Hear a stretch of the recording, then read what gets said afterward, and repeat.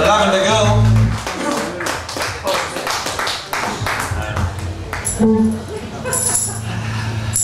Okay, this one's our last single, I'm not that either. but it's sold out.